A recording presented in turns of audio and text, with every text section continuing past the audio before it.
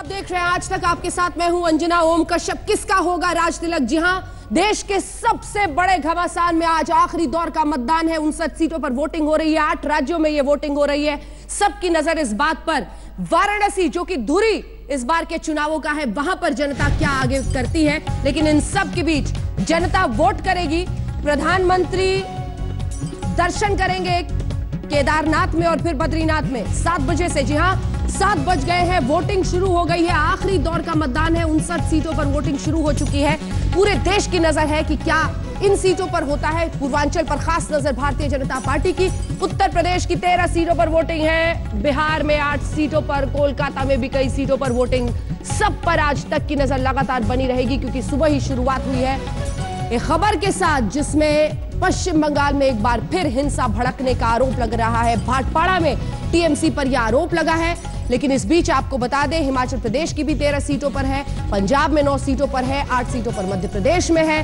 तमाम बड़े राज्यों में उत्तर भारत के आज चुनाव है। इलेक्शन कमीशन के निर्देश पर हिरासत में लिए गए हैं टीएमसी के पार्षद। और इसी के साथ शुरुआत हुई है आखिरी दौर के मतदान की। नज़र बंद किया गया है बीजेपी नेता अनुपम अनुपम दत्ता। बीजेपी नेता को नज़र बंद कर दिया गया है विधाननगर में।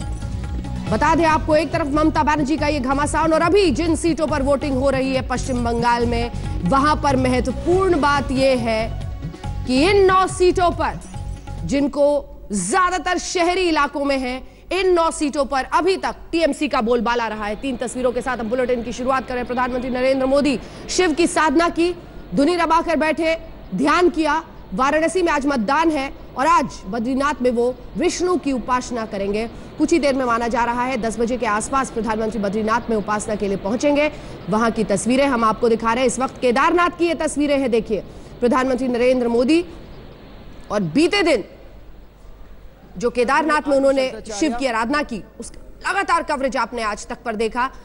लेकिन देखिए, तस्वीरें हिंदुस्तान की आज कहाँ कहाँ से, एक तरफ़ केदारनाथ में प्रधानमंत्री नरेंद्र मोदी उत्तर प्रदेश के घमासान पर सबकी नज़र तो तीसरी तरफ़ पश्चिम बंगाल, जहाँ पर सुबह सवेरे ही हिंसा ऐसी भड़की है कि एक बीजेपी नेता अनुपम दत्ता को नजरबंद किया गया है तो दूसरी तरफ़ टीएमसी के पार्षद पर भी कार्रवाई हुई है।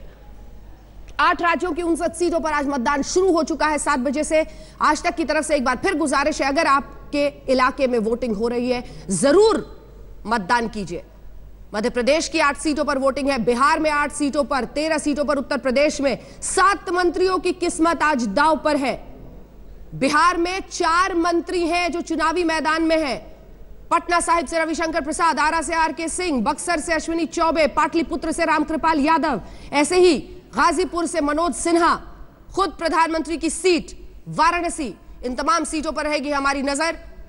काशी में आज प्रधानमंत्री नरेंद्र मोदी चुनावी मैदान में हैं और शक्ति और पूजा आराधना के लिए वो इस वक्त केदारनाथ में है, जहाँ से वो जाएँगे। बद्रीनाथ तस्वीरें आप देख रहे हैं। लेटेस्ट खबरों के लिए यू ही देखते रहिए आज तक। और इस वीडियो के पसंद आने पर लाइक शेयर एंड सब्सक्राइब करना ना भूलें।